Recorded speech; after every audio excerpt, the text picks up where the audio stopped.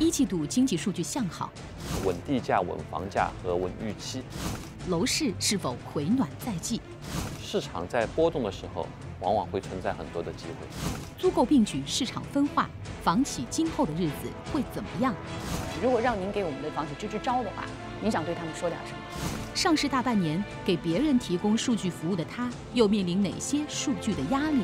资本市场也是非常现实和残酷。中国经营者专访易居企业集团 CEO 丁祖昱，精彩不容错过。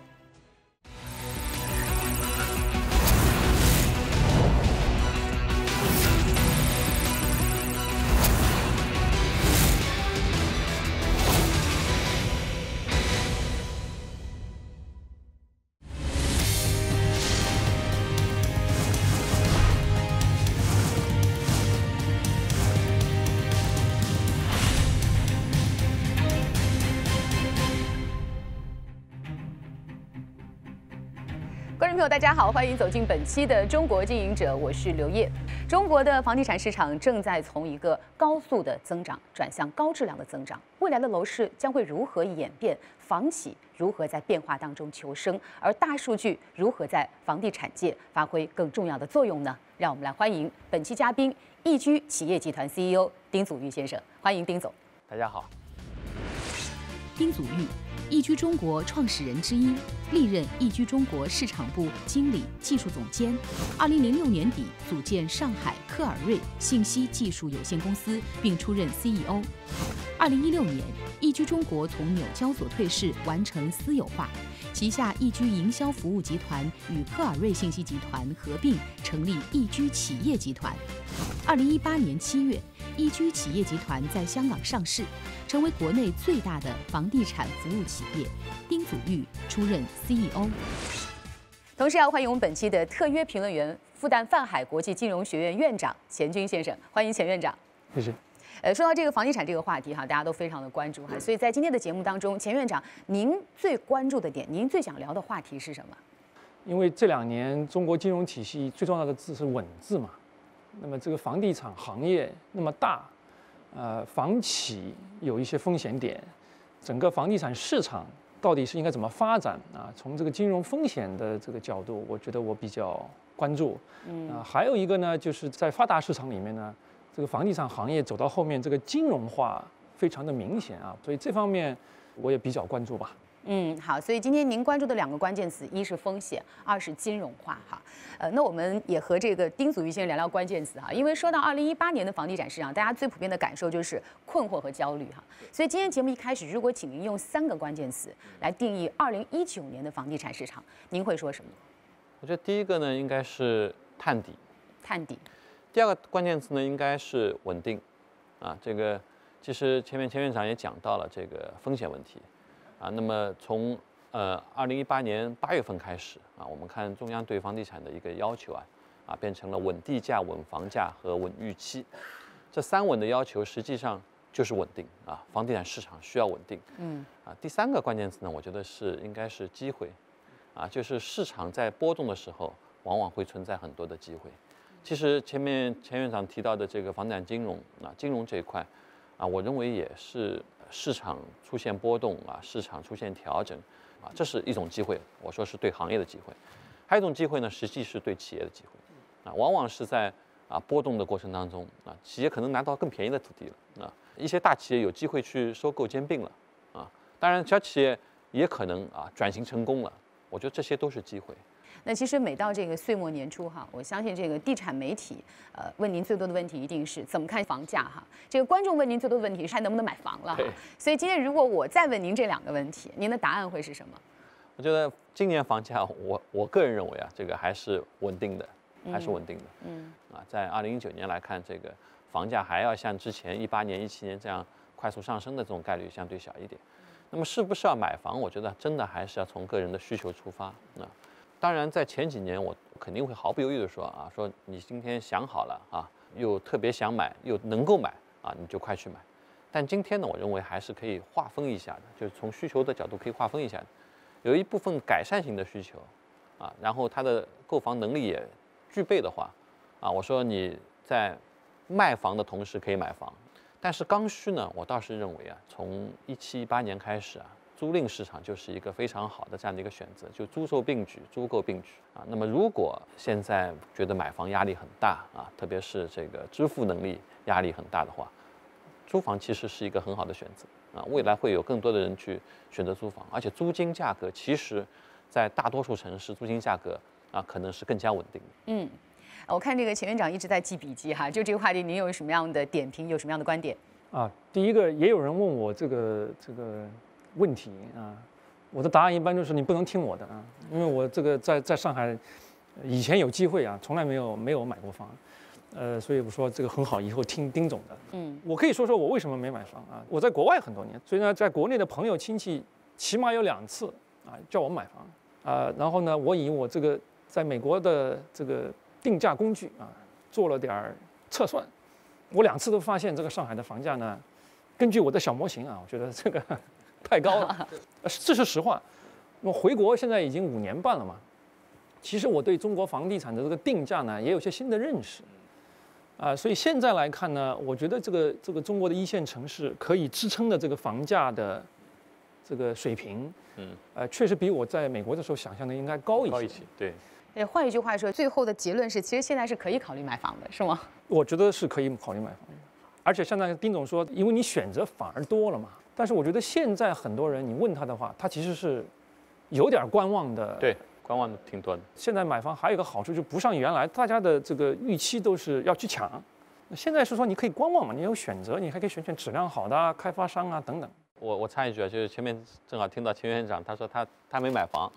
他是租房，你是租房？我是租房，对，我也租房住啊。我虽然买了房，但是我自自用的那一套房是租的啊。因为这个实际上那可以说是我们都错过了房价大升的那一段，但是我从来没有后悔过。我觉得这是一种生活方式，我觉得今天的年轻人更应该选择这样的一种生活方式。嗯，我也觉得这样的啊一种选择啊啊占比啊会越来越大。那么一旦啊真的做到租购并举的话，我相信。啊，买房市场的价格会稳定下来，啊，大家不要一窝蜂的都冲冲过去买房，啊，都提前消费、透支消费，啊，这个泡沫就没有了。所以以前可能大家看待这个房子这件事情呢，看待的是一种投资行为哈，现在看待房子的选择是一种生活方式。对，居住嘛。市场分化，龙头企业稳字当头。我们看到这些龙头的房企，比如说万科哈，他就提出了要做这个收敛聚焦的策略。就是过去几年大家都看到都在搞多元化，但搞了两三年之后呢，又发现这个多元化没赚什么钱。逆境求生，中小型房企又有哪些转型方向？过去这几年，很多的中小房企应该说日子并不是非常的好过。他要改变他原来的运作方式，就不能再去和这些大企业啊。走同样的啊开发销售模式。中国经营者专访易居企业集团 CEO 丁祖玉，精彩不容错过。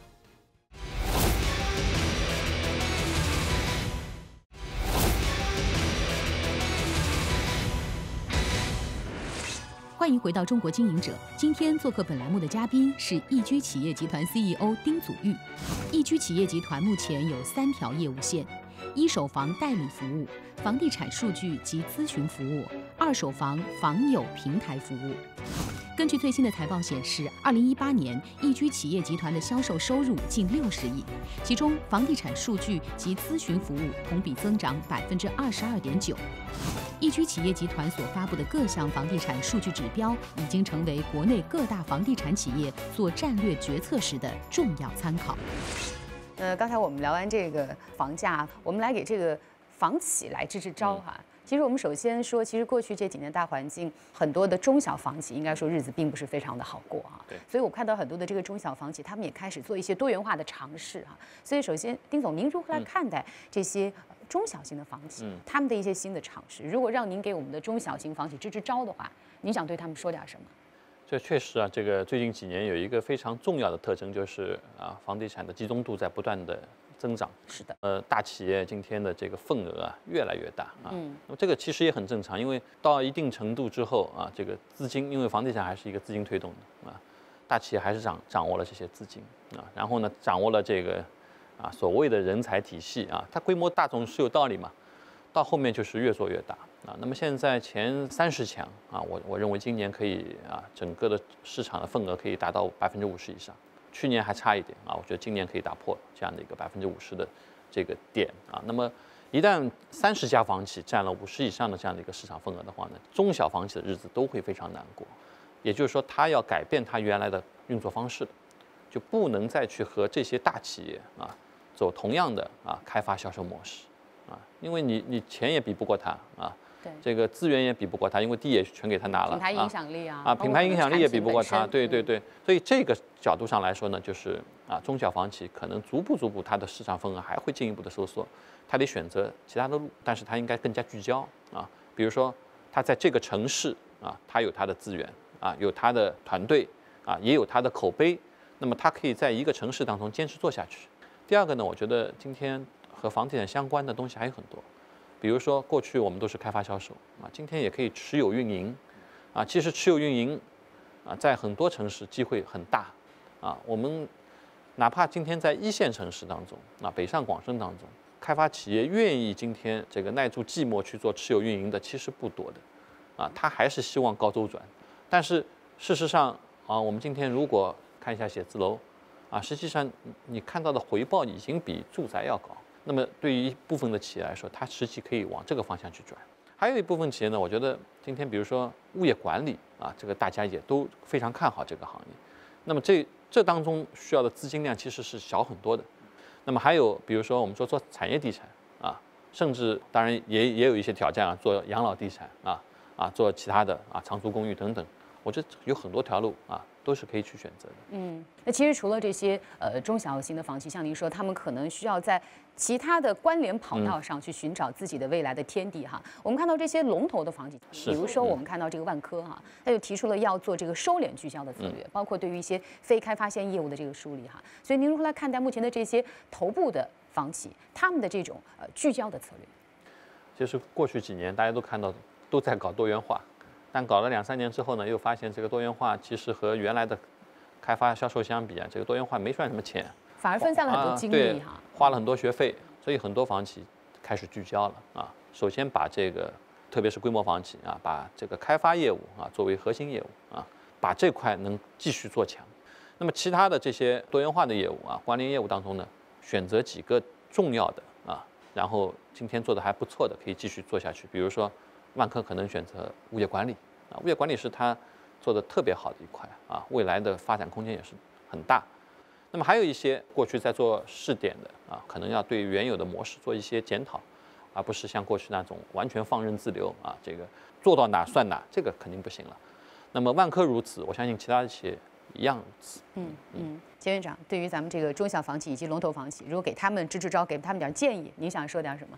呃，非常同意啊。第一个呢，如果看这个历史趋势，我觉得房地产行业啊，尤其是这个传统的呃房地产这个主业，今后五年啊，一定是更加集中啊，所以这是个趋势啊。所以我还最近看到有一位这个已经退出来的这个董事长给别的中小企业的建议的第一条是退休。嗯，刚才丁总说了很多具体可以做的事儿。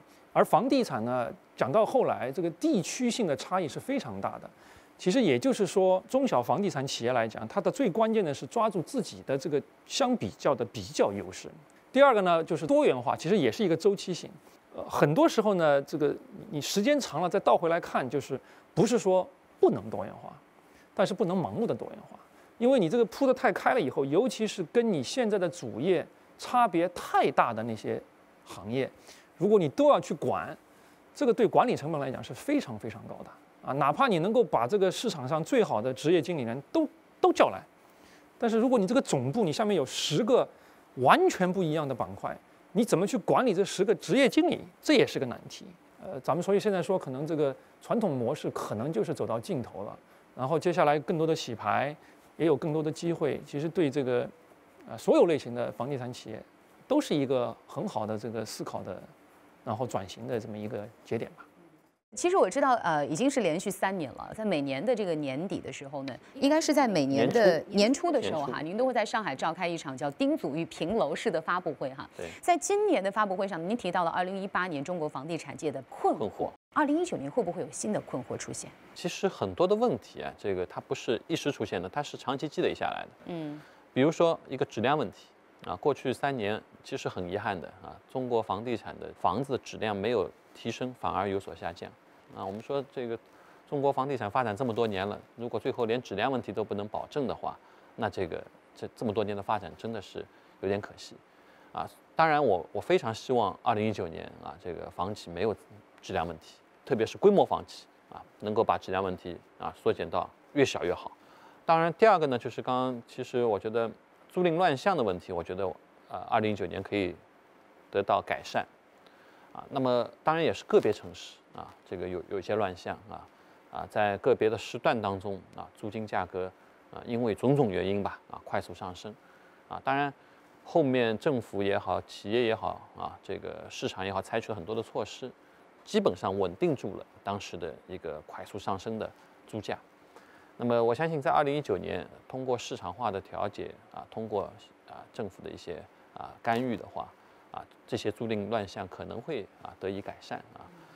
嗯，我觉得从一八年开始啊，整个房企也开始慢慢去杠杆了啊，就把过去用的特别啊这个负债率特别高的这样的一种状况啊，我相信在二零一九年可以得到一定的改善。但是换一个角度讲，资金压力还是很大的啊，因为开发企业还总想着这个进一步的啊增长啊，从规模啊，大家都有这个想法，但是资金面上面呢？没有这么多的资金来支持继续做这方面的这样的一种啊发展啊，所以资金压力还是比较大啊。当然，呃，我希望最好所有乱象在一九年都得到改善啊，这是这是我的希望。只提供交易和数据服务而不开发地产项目，易居如何跻身行业前三十？零六年当时房子太好卖了，对对对，根本就不需要售楼处啊。但是您做这个大数据，它需要大量的投入。需要砸钱，甚至不知道什么时候才可以产出。其实最早时候我们就是一个成本部门啊，没有想过这个这些数据要去赚多少钱。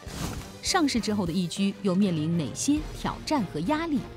因为资本市场也是非常现实和残酷的，每一年必须要有增长，而且不是一般的增长。中国经营者专访易居企业集团 CEO 丁祖玉，稍后更精彩。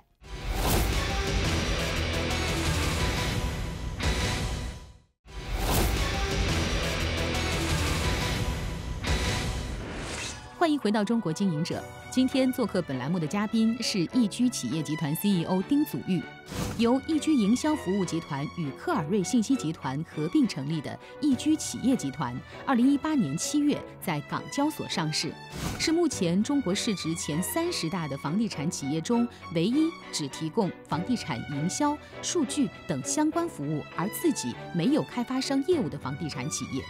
恒大。碧桂园、万科、富力等中国的龙头开发商企业都是易居的战略股东。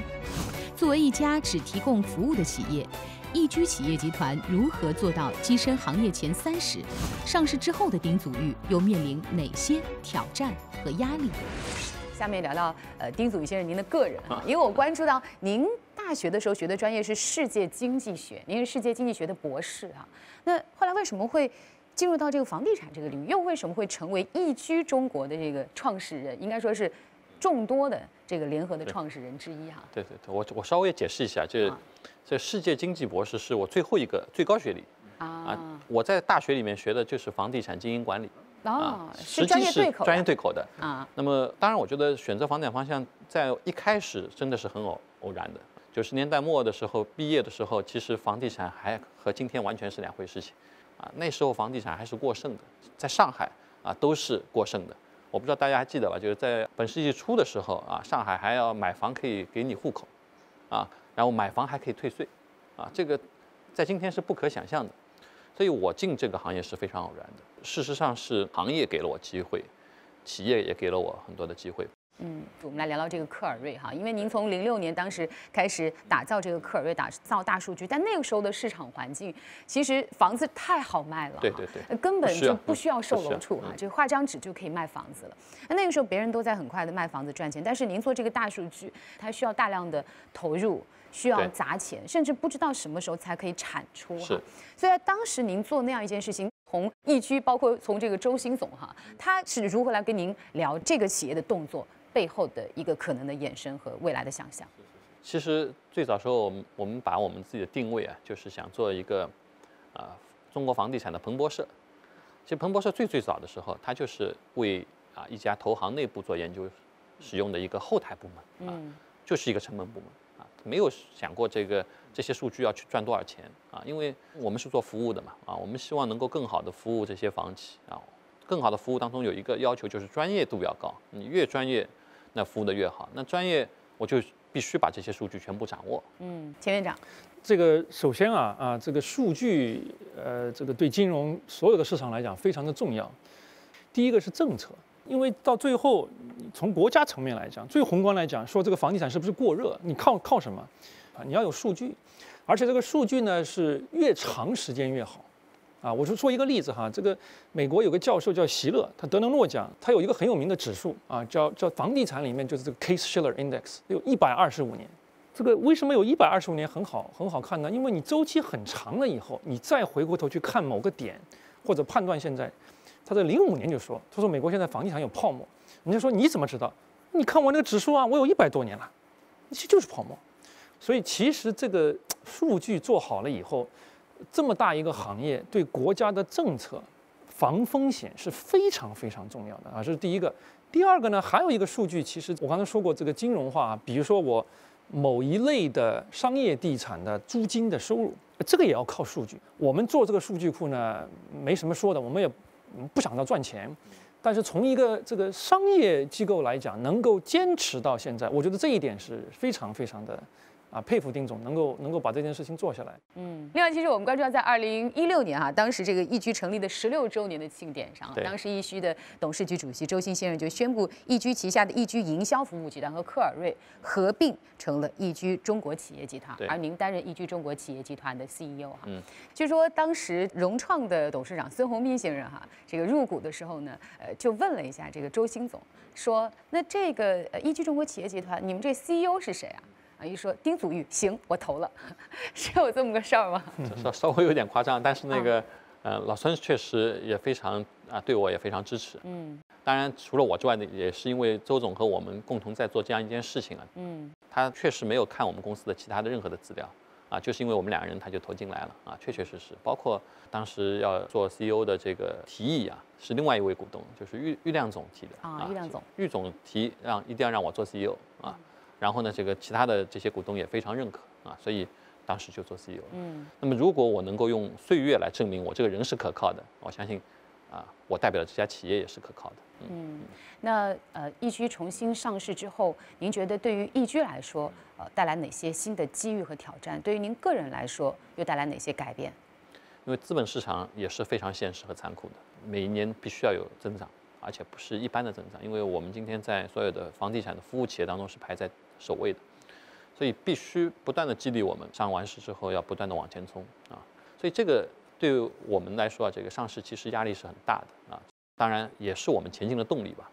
嗯，在今天我们节目的最后哈，呃，对于我们所有电视机前的观众朋友，不管是呃可能关心楼市的这些普通的消费者也好，或者是这个在房地产行业的从业者，甚至是领军者也好，您觉得您还想对他们说点什么？是刚才在我们的节目当中还没有谈到的？嗯，我觉得其实，呃，房地产要越来越啊，不要以纯投资的角度去看待房地产啊，要忘记过去的房地产，要来重新认识今天的房地产。我觉得这应该是对所有人，包括从业者啊、购房者来说，我觉得我我想再加这样一句话。